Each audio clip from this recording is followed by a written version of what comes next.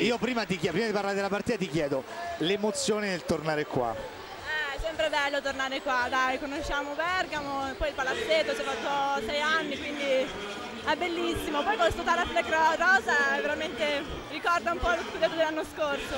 Una grande, una grande, vittoria, sotto 2-0 avete recuperato diciamo, lo scossone di Pavia, vi siete riprese subito.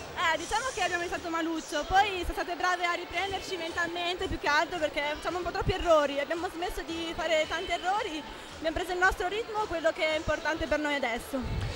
E adesso avete raggiunto in questo momento, anche se ovviamente ci sono gli altri match da recuperare, 27 punti in classifica mi sembra, per come era partita la stagione.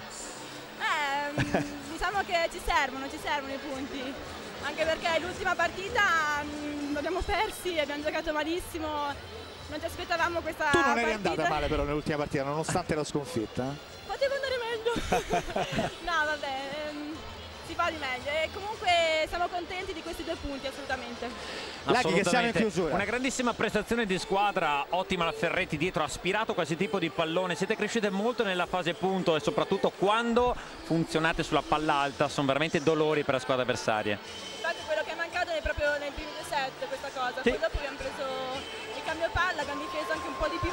Dobbiamo ancora migliorare sulla difesa, dobbiamo ancora fare qualcosa di più. Però... E beh, sono arrivate anche comunque Manzano e Cuniesca, sia a muro ma anche in attacco che vi hanno dato la mano. Assolutamente sì.